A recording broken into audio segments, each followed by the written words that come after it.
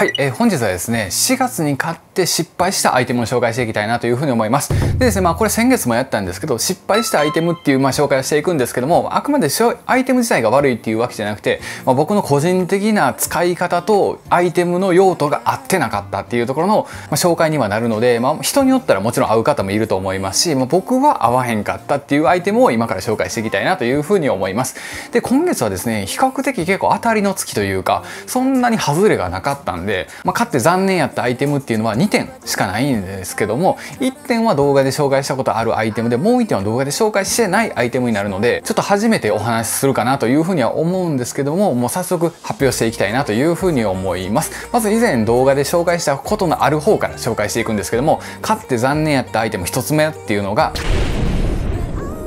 こちらのユニクロのエアリズムのコットン T シャツになってます。でですねまあこれはあのアイテムとしては結構あの肌触りもいいし速乾性もあるっていうことで機能的には全然いいかなというふうに思ってたんですけどそしたらじゃあ何が残念やったかというところなんですが、まあ、僕が一番残念やなと思った部分っていうのが以前動画これの購入動画でもお話はしてるんですけどデメリットとしてこの肌触りがいいのって糸が細いので糸が細くて肌触りが良くて着心地がいいのはそうなんですけど反対を見れば着心地がいいっていういうことは劣化しやすいっていうかあの強度がないっていうところはあのデメリットとしてあるんです。生地の特徴から見て強度がないっていうのはあのあると思いますって言ってたと思うんですけど、まあ、まさにその通りであの強度がちょっとなかったんですよね。なので一応この T シャツの歌い文句としては1枚でも着れるっていうのが歌い文句であの発売はされてるんですけど実際僕着てみたらこれやっぱ首元が1回目か2回目の洗濯でもうよれ出してもう1枚では到底着れんくなったんでもう僕の使い方としてはもうすぐに寝巻きになったということになってってて、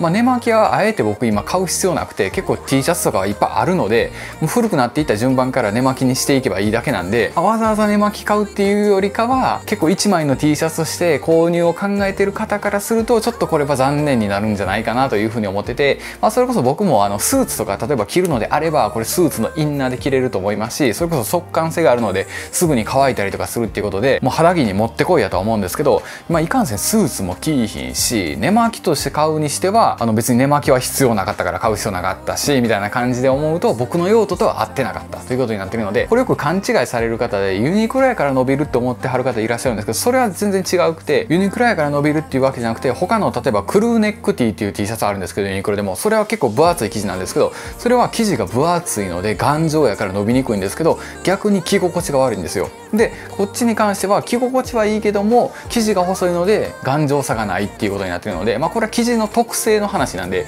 ユニクロが悪いとか安いもんが悪いとかそういう話じゃなくて糸が細いとどうしてもこう劣化しやすい。でまあ結構早めに劣化しちゃったなっていうところが、まあ、僕はちょっと残念やったかなというふうには思います、まあ、なのでこれ逆におすすめの方っていうのはもう最初からインナーで着はる方とか最初から肌着として使う方とかであればもうこれ全然申し分ないと思いますし逆にこのコスパ的に1000円切れるコスパでこんな最高の肌着作れるのって言ったらさすがやっぱユニクロしかおらんやろなとは思うんですけど、まあ、1枚でがっつり着たいってなると結構これ首ビヨビヨになってるので、まあ、どうなんかなというふうには思ってて僕特にこういう結構締まった首の締まってるタイプが好きでこう首がより出すと一気に貧相感が出るんですよねだからあんま好きじゃないんですけど一応これは、まあ、ちょっと結構その僕には合わへんかったという感じになってるので、まあ、買って残念なアイテムかなというふうには思います、まあ、今から着用をちょっと見てもらいたいなと思うんですけども、まあ、こうやって首が締まってる状態からこのユニクロの方はですね、まあ、パッと今着替えたんですけどはちょっとやっぱりこの首がちょっとビヨーンってなっちゃっててちょっと情けない感じになっててまああのピンマイクつけてるっていうのはもちろんあるんですけどもまああの最初買った時はもっとギュッてしまってたんで、あ、結構広がっていくなっていう感じでもうこれは完全に寝巻きにはなってるのでまあこれぐらい首が広がってきます。だから多分結構首太い方とかがっちりされてる方は気にならないと思うんですけど僕みたいに細い人ってこうやっぱ首が開いちゃうと結構貧弱なイメージだと思うのでもう完全にこの貧弱な感じ出てますもんね。だからまあちょっと、あの、まあ、僕にはこの辺が合わへんかったかなというふうに思いますので1つ目のアイテムがこちらになってます。では次の、えー、買って残念なアイテムに行きたいなというふうに思うんですけどちょっと服は戻しました。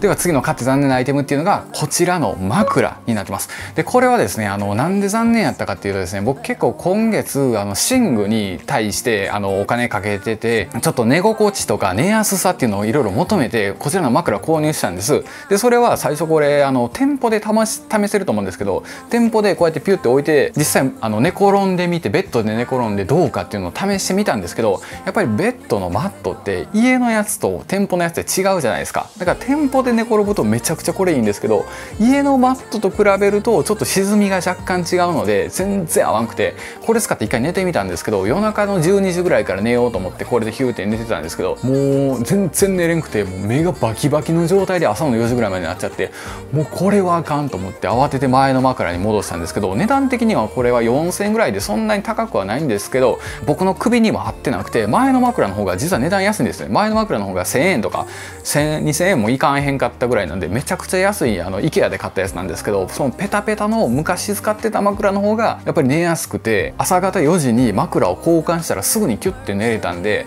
ちょっとこれは買ってちょっと残念やったかなというふうには思います。一応結構低反発な感じになっててわり、まあ、かし高さのある枕にはなってるんですけど僕結構横向いたりして寝るからちょうどいいかなというふうには思ったんですけどやっぱり枕は結構あの皆さん合う合わんってあると思うんですけど、まあ、なかなかいいのに巡り合うのは難しいのかなというふうに思います。っていうのもまあ僕の知り合いの方であのオーダーで枕作ってはる方もいらっしゃるんですけどオーダーで自分に合わせてプロの方と相談してやってもなかなかしっくりこうへんくてもう一回やり直してもう一回やり直してって何回もやり直して最終的にゴールまで近づくらしいのでそれ考えると、まあ、なかなかこの既製品でパンって買ってパッてはまるのって難しいんやろうなと思うんですけどこれに関してはあの、まあ、いい買い物っていうかあの勉強代やったなと思いますので、まあ、このブランドが悪いとかこのブランドがいいとかいう話じゃなくて枕に関してはは多分何回も試していって実際寝てみないとちょっとわからないっていう感じだと思うので、まあ、今後枕を購入される方とかもちょっと店で試すのと家で試すのは違うし家で試してても実際寝るってなってくると寝転ぶのとはわけが違うから、まあ、ちょっとやってみやなわからんっていう感じだと思うのでそういうこと考えたら意外とオーダー枕の方が何回もやり直し効くので安く済むのかもしれんというかむしろこういう既製品を何個も買って何個も買って何個も買って試すよりかはオーダー枕パンって買っちゃってもう何回かプロの方と自分分の体見ながら合わせるっていうのが多分一番いいのかもしれないんですけどまあ今に関しては僕も1000円のペタペタ枕で